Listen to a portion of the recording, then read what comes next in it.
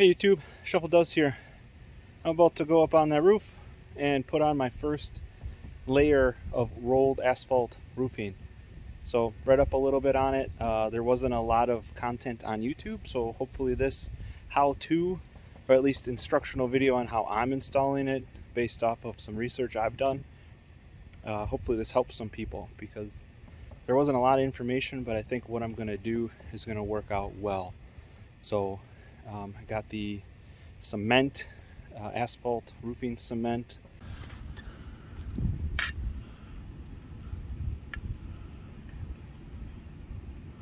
Which is some pretty nasty stuff. Going down the edge, nailing it on the short side, and then rolling it across, nailing on the top. Um, they say every 10 inches I'll be going every 12 inches so that I hit every roof rafter and then midway between and then I can cut that nail that uh, poked through off and um, that way there's less nails uh, that I got to cut off and in anybody's way of getting schmucked by being underneath it. So let's go up there before it gets too hot. It already is hot. So here I am putting the last couple sheets of half inch OSB on the roof and then I laid a layer of felt paper on. So here I'm cutting it out. It's so much easier to pre-cut these and uh, yes I finished putting the felt paper on at 10 o'clock at night. It was going to rain the next day so I wanted to keep this OSB protected. So now that we are done with the felt paper, let's climb on the roof. Alright YouTubers, so to be completely honest with you, I started on this front side as I just described and basically went through my process on how I want to lay this out. If you want to just skip ahead to the back side where I do more of the instructional how to and how I did this process, jump ahead to otherwise you guys can keep watching me lay down these first three rows of rolled asphalt roofing on the front and we'll jump to the back in a little bit.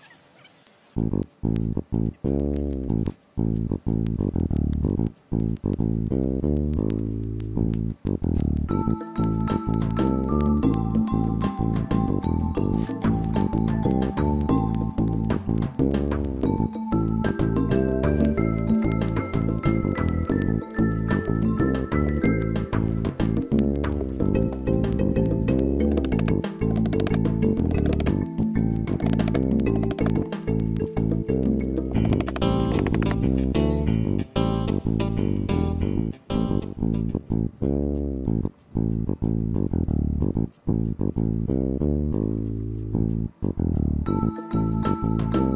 you.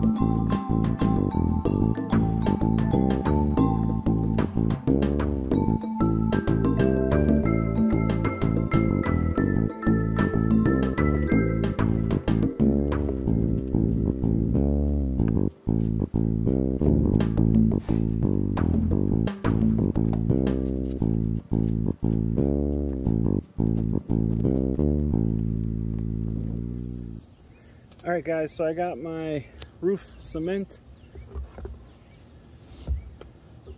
Pretty thick, nasty stuff here. Wait, hold on. There's more you got to do before you can start roofing. So this right here that I'm cutting out, this is the drip edge. I'm putting it on the bottom as well as the rake or gable end of the roof. So these pieces have to go on you don't have to use a drip edge. There's all sorts of other profiles, and the internet does a great a how to. And I'm not going to show you how I cut and trim mine because there is a lot of information out there on how to cut and make all of these pieces look and fit together great. Turned out pretty well, and I mean it's going to be how high up in the air are you even going to notice it?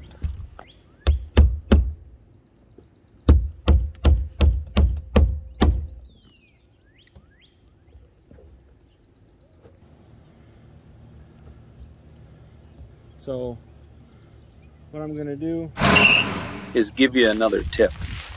Pre-cup this stuff. So this is rolled asphalt roofing. It comes in a 36 by 36 feet long roll. So 36 inches wide, 36 feet long. I designed the jungle gym is 12 foot out to out. So it was a full sheet and then a half for the plywood. It's a full 12 foot long uh, fascia. So 36 foot long. I'm gonna cut these at 12 foot long and have them all pre-cut so when I go up there I can just lay them all in place.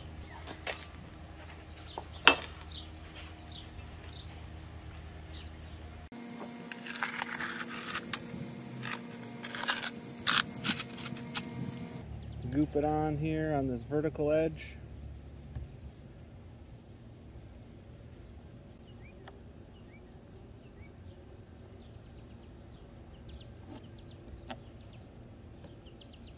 It's got the consistency of a thin mastic,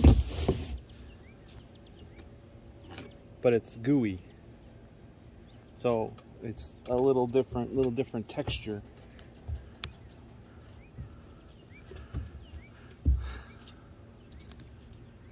So what I do is I get it on this trowel on the bottom side of it and then just kind of slap it on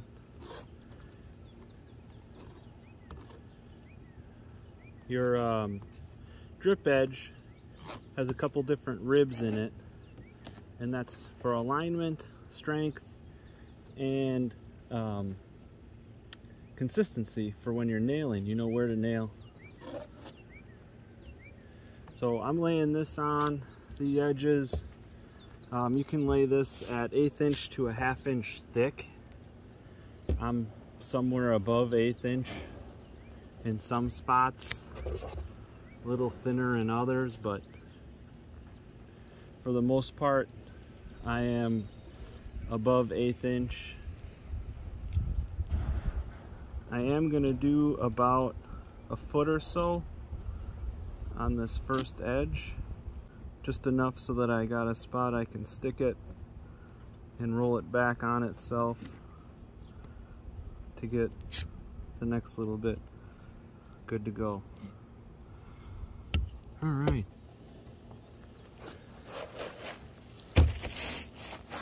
All right, here we go.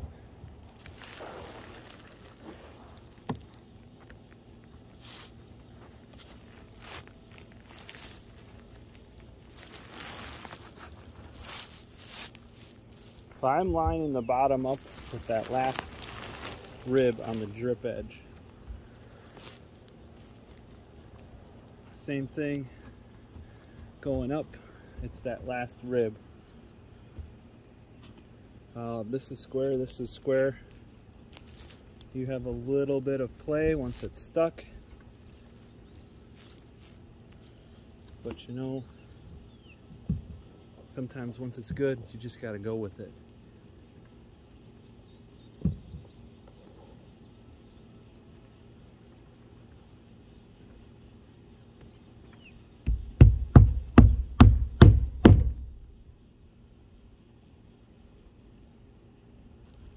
Double check my line here.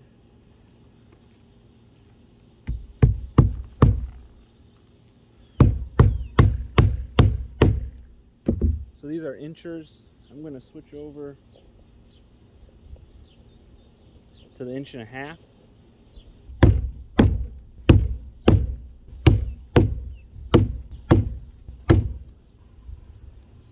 Now these ones will be visible so try and get some good alignment. All right. So, now what I'm going to do is roll back to this line and go ideally to this next joist with cement here. See how stringy that is?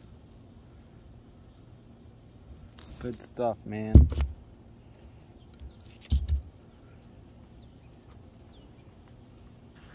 Got a little extra, so I'm just moving it down the line. Move that down.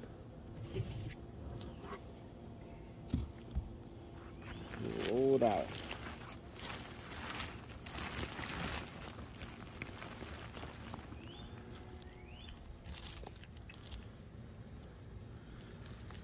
And here's that edge I wanted to just stay aligned with. And it's rolling out super nice. And put this back on this side. Yeah, I mean, that's perfect. Very happy. And I know I got a rafter right here. So that's where I'm gonna put one.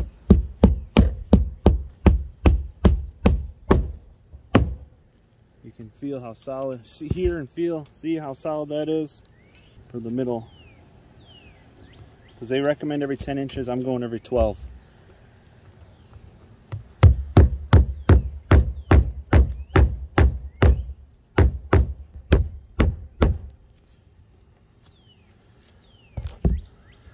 All right, now if I can reach, I'm gonna try to get up there right away too.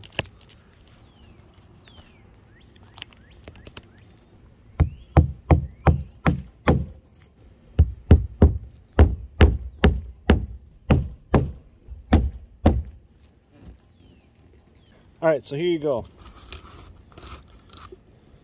So here's a rolled roofing edge. You got your drip edge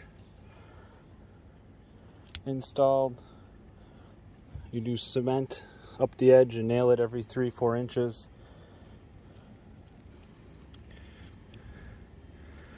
These ones will be left exposed. Those ones up there will get covered by that next sheet. So this is super nice stuff. Very happy with it. It's sticking in really good. So let's keep going. All right, guys. So these are three foot sections of rolled roofing. I have a piece that'll lap about 18 inches from the other side. It's just having a seam here, right about 26 inches from the edge, and then having another seam about 24. To me, those proportions would just look a little better. So, right from the ridge down 36 is about there. And to keep things a little more consistent, I'm gonna go from this edge up and I'm gonna make a mark at 26 and 27. Now those two lines, again, are gonna be for me to know that I have that edge to line up and then that edge about where I wanna stop the uh, roof cement. Also, I want to measure up and put a little mark where that roof rafter is. Typical overlap coverage is only four to six inches.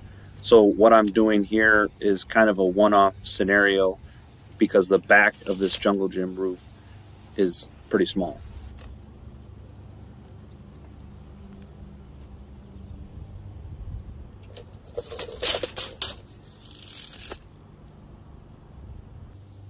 Climb up and do that side, and then I'll move the ladder and do this side.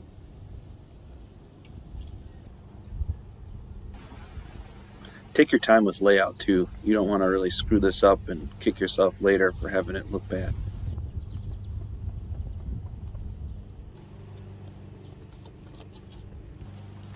I'm just using simple chalk to mark on here. That way it'll wash off.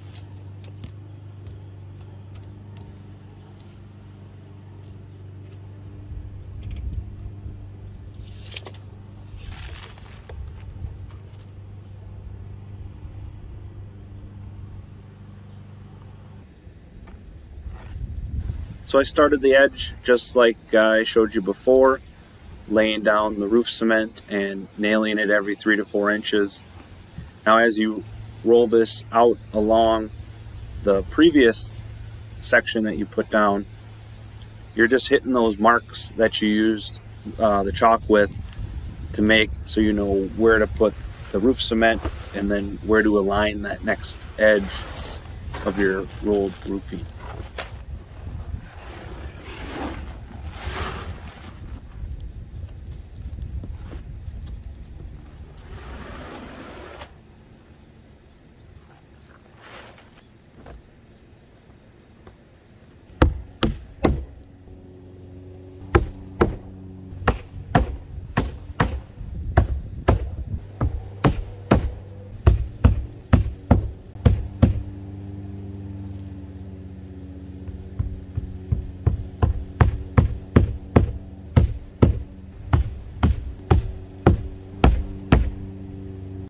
Okay, so I finished up that second roll on the back side here, and now I'm about to do the final rolled roofing piece that will cover the front side, roll up over the ridge, and back down. So I just measured down where that needs to be and did the chalk indication lines so I know where I need to be and where I need to put that roof cement.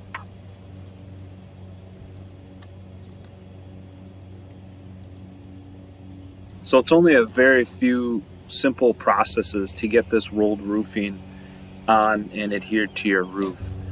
Troweling on the roof cement, laying the rolled sheet out, and nailing it in is basically all you do row after row.